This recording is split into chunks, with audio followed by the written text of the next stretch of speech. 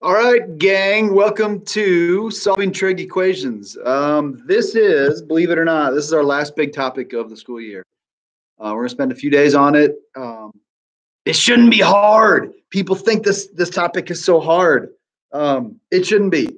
If you're good at solving algebra equations and you were good at the speed quiz, then you should be able to do this with no problem. I want you to view these equations today as regular algebra equations. And here's what I mean. I'm gonna I'm gonna put the notes up on the screen. This first one says 2 cosine theta minus 1 equals 0. I want you to think of it as 2x minus 1 equals 0. And if I gave you 2x minus 1 equals 0, you'd have no problem solving this equation. So we're going to treat it like a regular algebra equation at first. Okay, so let's solve. Uh, add one to both sides. Divide by two.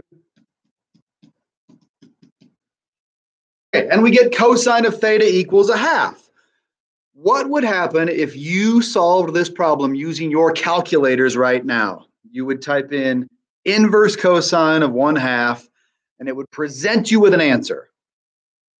What answer would that be?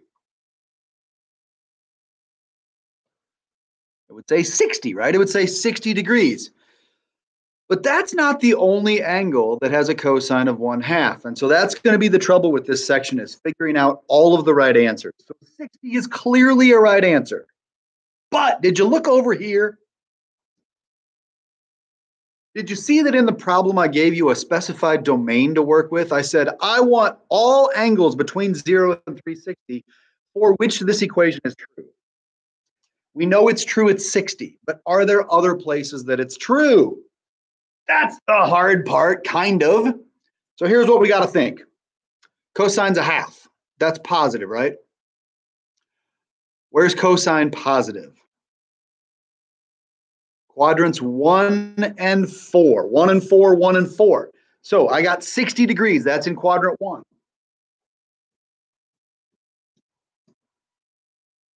Well, what's the angle in quadrant four that has a reference angle of 60? It's 300, yes? 300 has a reference angle of 60. 300's in quadrant four. 300's an answer.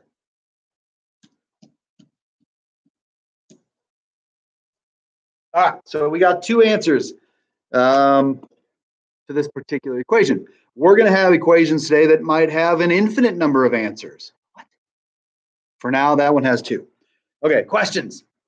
That wasn't that bad. Second one, sine squared equals one. Again, think of it like a regular algebra equation. If it said x squared equals one, what would you do? You'd square root. So we're going to square root both sides. When you square root both sides, we're looking for how many answers? Nick? Two. Okay, so you got sine equals plus or minus one. And again, let's go look at my domain restriction. I'm talking zero to 360 again, not including 360. So you got to think to yourself, unit circle, where does sine equal one? In other words, where is the y coordinate one in a unit circle? Well, that's at 90. Then think to yourself, where is sine negative 1? Where does the y coordinate in a unit circle equal negative 1? Down at the bottom, right at 270. So we got two answers again. Plug either one of those into the equation at the, at the top of the page, and you get yourself something that's true. Okay, then it gets a little bit tougher with number three. The first two were kind of straightforward. Number three is only tougher because it makes your head hurt when you look at it. You're like, I don't know what to do. I I think when most of you look at this, you'd probably say, ah, I don't know, subtract sine from both sides. Maybe divide both sides by sine eventually. I, I don't know what you do. But again, I want you to view this as an algebra equation. I want you to think of this as 2x squared plus x. And sweet goodness of all mother gosh holy stuff, I hope if you had 2x squared plus x equals 0, you would say, oh, they got an x in common. Let's yank it out. So they have a sine in common. It's a factoring problem, is what I'm trying to say. Factoring has been following us the whole year. It's going to continue to into this last section. So factor out a sine. Leaving.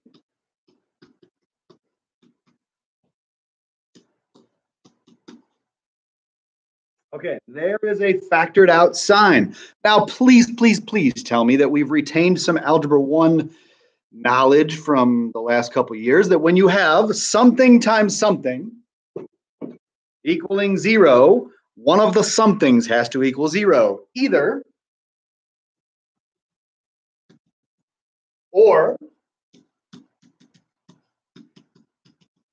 one of those two things has to be true. Ah, that equation's already solved. This one There, I skipped a step, I solved it.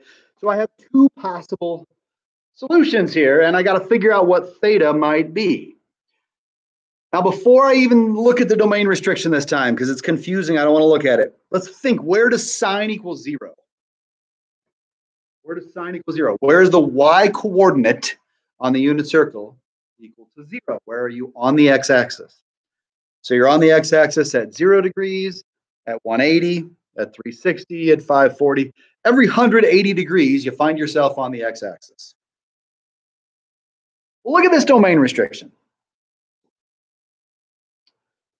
It says we're, first of all, it's in radians. Woo! And second of all, it says we're only considering values between 180 and 360, not including 180 and 360. There's no equal sign there. It's just strictly less than. So this first equation has solutions zero, not in the domain, 180, almost in the domain, but not quite, 360, just a little bit too big for the domain. So from this first equation, I don't get any answers that work with this domain. I get lots of answers, but none of them work with this domain. Hope that makes sense. Second part, where does sine equal negative a half? Well, first of all, where does sine equal positive one half? Think of your speed quiz, your triangles. Where does sine equal a half? 30, right? 30 degrees. So I need sine to be negative. What quadrants is sine negative? You should have said three and four.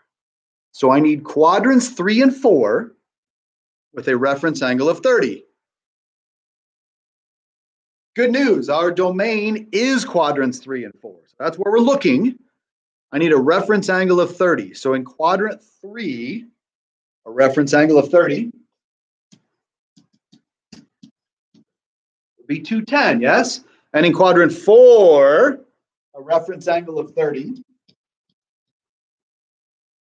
would be 330. So that's it, except eh, since the domain was given in radians, we really should have our answers in radians. So speed quiz practice, change 210 into radians. Ready, go. And 330 into radians. Ready, go.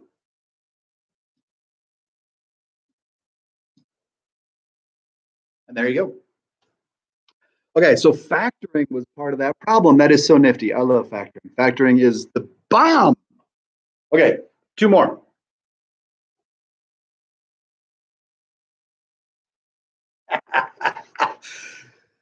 Look at this one. Kind of makes my head hurt just looking at it. It has a root in it. Gross. Okay, again, think of it as, as an algebra problem. If it said x squared minus root 3x equals zero, I hope you would say, hey, they both have an x. Let's factor. Let's yank it out. So let's yank out a tangent.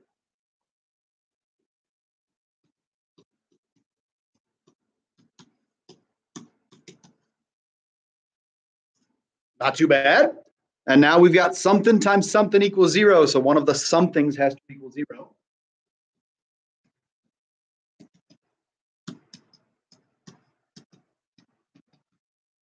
So one of those two things has to be true. Now, the first thing says tangent equals zero. Please remember tangent is sine over cosine. And so you need sine over cosine to equal zero. Well, if sine over cosine has to equal zero, that means the numerator has to be zero. So I need locations where sine equals zero. So where does sine equal zero? We just talked about this. It equals zero at zero degrees, 180, 360, 540, 720, 900, 1080, blah, blah, blah, etc. So look at the domain.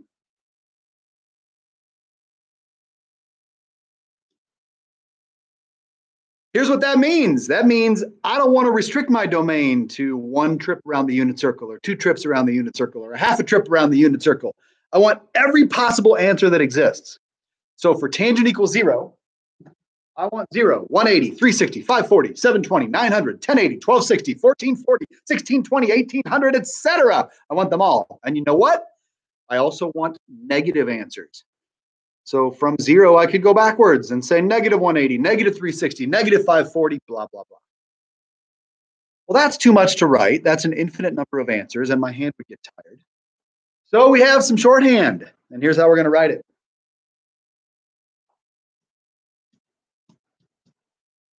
Starting at zero, I'm going to write the zero. I wouldn't have to write the zero this time, but I'm going to write the zero. So starting at zero and going both up and down, 180 degrees. But that answer right there just says 0, 180, and negative 180. I need more. I need to go up 180 and down 180 lots of times. And so we have to put a variable there. And traditionally we use k. So what that says is that says start at 0 and go up and down 180 as many times as you want. That's what that says.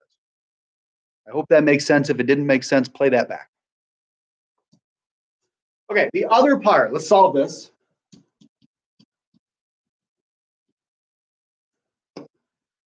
You got to say to yourself, hmm, do I remember my triangles very well? Where does tangent equal root 3? Think about your 30, 60, 90 triangle. Tangent is root 3 at 60 degrees. 60. Okay? but not just 60. Where else is tangent positive?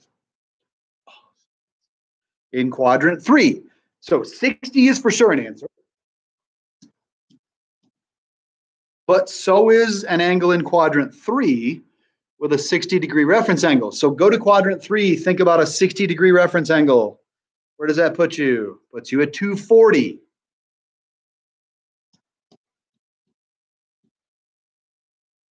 Then what if we went a second trip around the unit circle? Back here again at 60 plus another 360 would be 420. What about in quadrant three if I made another rotation around the circle, 240 plus 360?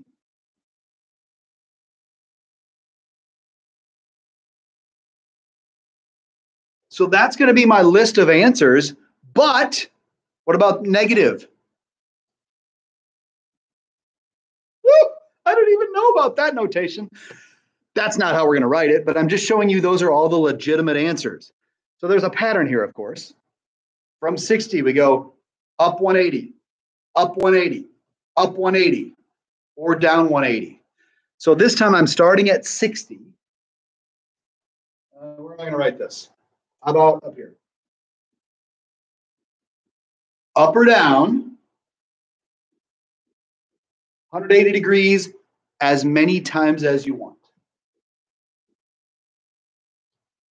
So the two things I have circled or ellipsed or whatever you want to call it, the two things I have contained represent all of the answers to this problem. You can either take an angle that is a multiple of 180, positive or negative, or you can take an angle in 60 plus or minus 180k plug it in the original equation and get yourself a correct answer. So there's lots of correct answers for number four.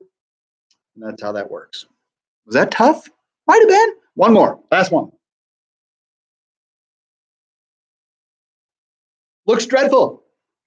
So some of you are going to look at this and you're going to say, ah, yank out a sine, except not all the terms have a sine. So that's going to be bad factoring. That would never work.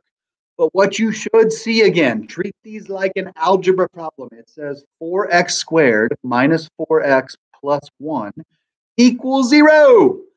That's a smiley face problem.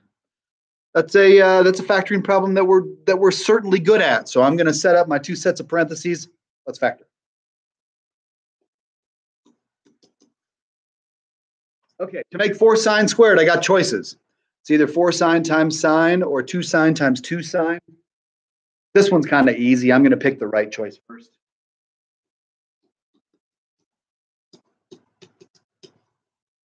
So 2 sine times 2 sine is clearly 4 sine squared. I need to multiply to make 1. Not too many choices. Either 1 and 1 or negative 1 and negative 1. And look, my middle term is negative. I know it's going to be negatives. You can check that if you want. You can FOIL it out, make sure it works, but that's how that factors.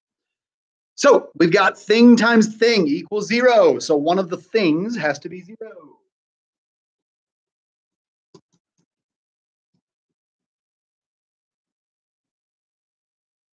Those are the same things. So I'm not going to think about them twice. I'm just going to think about them once. So here we go. Let's solve this. So my answers are where sine is a half. And again, if you use your calculator and type inverse sine of a half, you're going to get 30 degrees. And you're going to write down 30 degrees and you're going to have a right answer. But 30 degrees is one of an infinite number of answers that makes this problem true. So 30 is right. It's just not all the way right. I want to make sure we understand that. So 30 is right. What other quadrant is sine positive in? Two, you said two, right? So go to quadrant two, use a reference angle of 30. And what do you get? In quadrant two, reference of 30. Remember, reference angles are always from the x-axis. So 30 degrees away from the x-axis is that, right? 150. So maybe these are going to go up not by 180 each time, but by, what is that, 120? Let's think about this. What's the next angle that would have, um, that would be true in this particular situation? So go from 30, go around another rotation. What is 30 plus 360? 390, uh-oh. 150 to 390, that's 240. That was 120. That's no good. Hmm.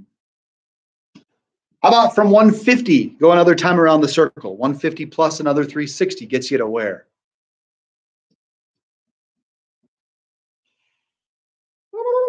Oh boy. 390 to 510, that's another 120.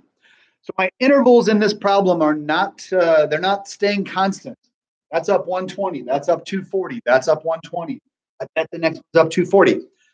So to write our answers to this problem, I'm going to have to do two separate things. I got two patterns going on. I've got my quadrant one stuff. So every other angle is a quadrant one angle. And I've got my quadrant two stuff.